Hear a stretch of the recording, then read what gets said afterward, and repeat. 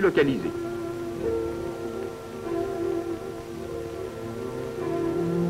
À l'origine même se trouvait le dévouement anonyme d'un Français courageux qui n'hésitait pas à héberger une première nuit l'aviateur sinistré. Ce Français, très souvent, n'appartenait à aucune organisation de résistance. Il était humain d'abord, patriote ensuite. L'un d'entre eux va nous raconter comment ça s'est passé chez lui à l'époque où la propagande allemande s'étalait sur les murs des moindres villages. Ils sont jours comme aujourd'hui. Il faisait un temps plus sec que je me rappelle. J'étais à même de couper un peu d'herbe pour mes bêtes. Et puis à un moment, j'entendais un aéroplane qui faisait pas comme d'habitude.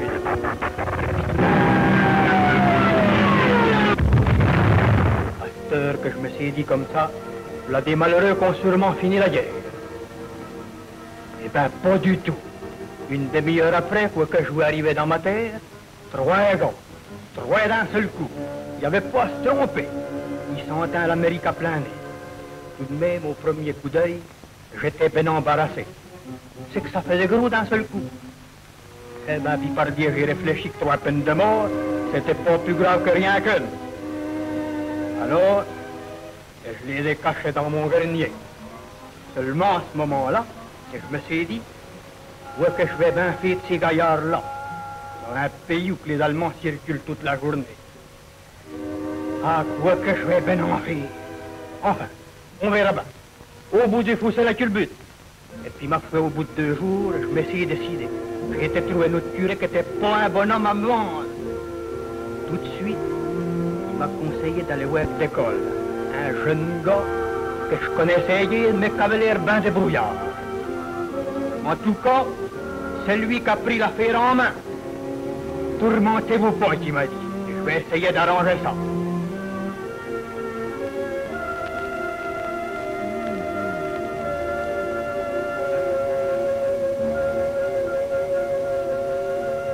Deux jours après, il revenait me voir.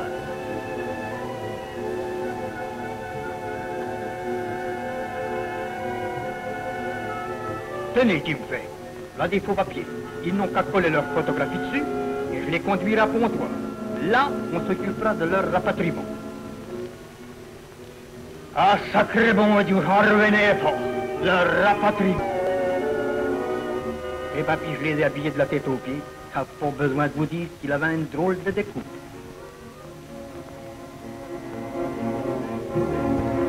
Et le plus grand, il avait des souliers de cycliste. Et le blond, les verdis de mon mariage. Et ben, puis le troisième et le plus jeune, une...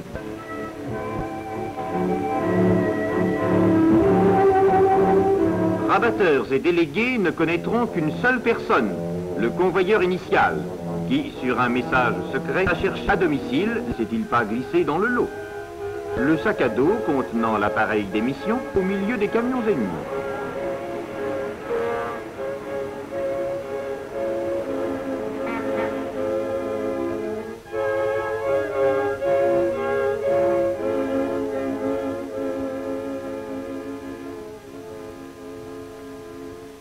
Arrivé à domicile, c'est d'abord la pose délicate de l'antenne.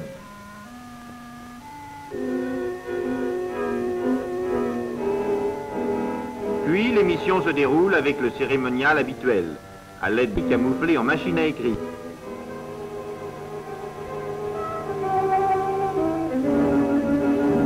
Le guetteur se tient en liaison avec un autre guetteur chargé de surveiller l'arrivée éventuelle de la voiture de détection de la Gestapo.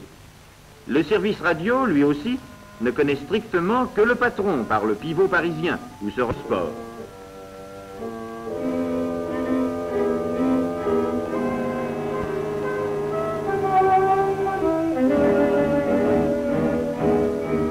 En même temps se résout la difficile question des traverser la France. Il leur faut donc des étiquettes parfaitement en règle. C'est donc maintenant un documentaire un peu technique sur la fabrication des faux papiers que vous allez voir. Messieurs l'inspecteur qui assistez peut-être à cette projection, rassurez-vous, le matériel qui servait à cette fabrication est retourné à sa destination première, l'impression des carrés de soie.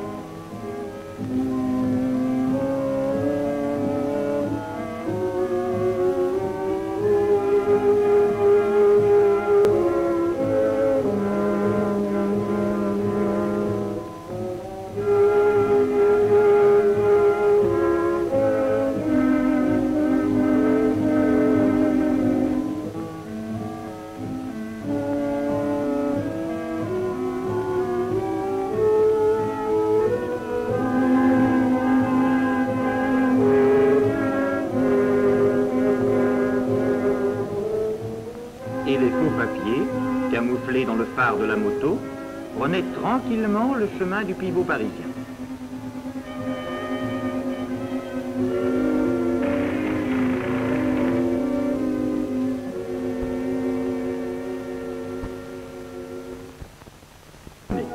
Les aviateurs hébergés à Paris attendent leur tour de départ dans des locaux dont les possesseurs risquaient eux aussi la peine de mort. Une nouvelle série de convoyeurs prennent à Paris les colis, les accompagnent à travers la France vers une ville hospitalière située près de la frontière espagnole, d'où les passeurs frontaliers les mènent vers la liberté. À cette même époque, à Vichy, capitale très provisoire de l'État français, la mystique Pétain subsistait encore parmi une grande partie du public mal informé, résultat néfaste d'une propagande mensongère.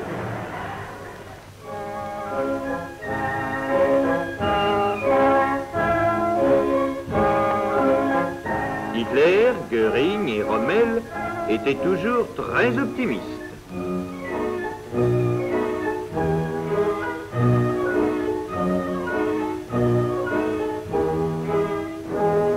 Emery, le traître anglais, versait son fiel sous la protection non dissimulée des baïonnettes de Darlan. jetés dans une guerre d'assassinats, de femmes, d'enfants, de mutilés et de vieillards.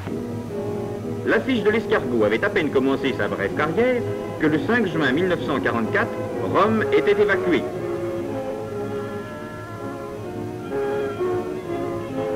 Et le lendemain, 6 juin, les Alliés débarquaient en Normandie. Mais nos difficultés augmentaient. Les voies ferrées sautaient partout en France.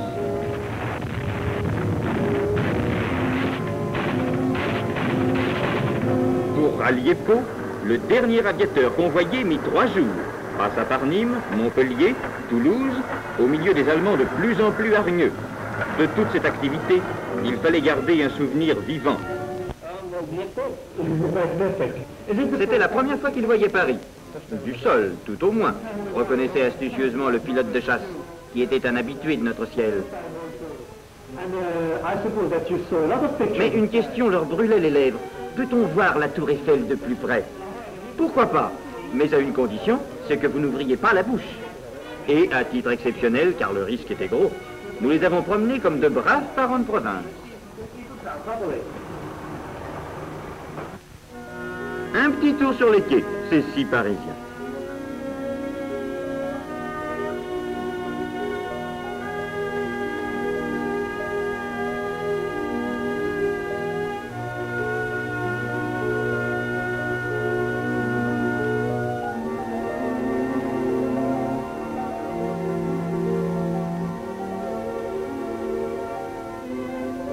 Cherchons quelques livres rares.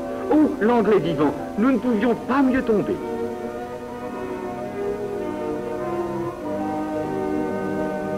Mais vous, madame, au nom du ciel, ne restez pas là planté comme un cierge à regarder l'opérateur. Vous allez nous faire repérer.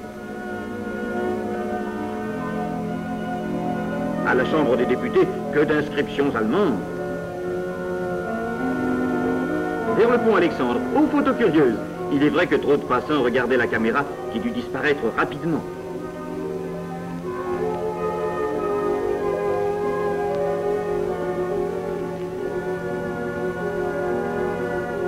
Passent, suprême ironie, devant l'affiche du traître Emery et celle promettant la peine de mort à toute personne aidant les parachutistes. Enfin la tour Eiffel, qu'il est bon de flâner au milieu des permissionnaires allemands du dimanche, comme cette jeunesse hitlérienne, cet officier de la Kriegsmarine, ces aviateurs en armes.